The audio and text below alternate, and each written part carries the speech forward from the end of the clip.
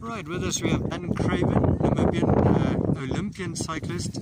Dan, you're back racing now again today at the Dordabis Road. So, how was your race today? Uh, I mean, first race back in Namibia. It's always amazing to be back here.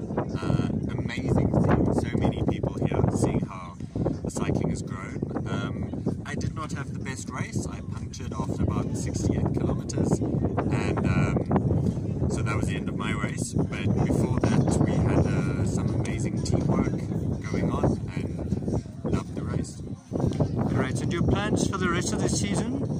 Uh, well, later on this year there are the Commonwealth Games, and now obviously all the selection is happening for that. So I'd love to be a part of that, to go to another Commonwealth Games, help the team out, tactics as an elder rider, but we just have to see how the selection goes. Um, and I'm in Namibia for another six, seven weeks, so really looking forward to that. Right, and the national champs coming up as well. How do you think you can do there?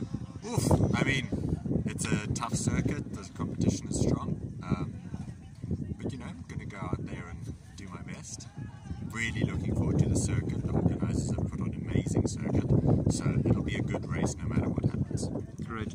And Dan, it's great to see you back after your really bad experience last year, missing out on the Olympics due to COVID. So tell us a bit about that and um, what made you decide to carry on this year?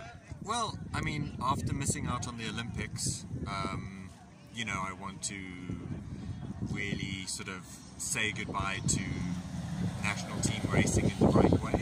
Uh, so that's why I really want to go back to the Commonwealth Games, just to have the opportunity to to race on a high level for another time, and, and especially now where the Olympics, I was going to go on my own. Commonwealth Games, it's a team, and cycling being a team sport where team tactics and guidance, um, guidance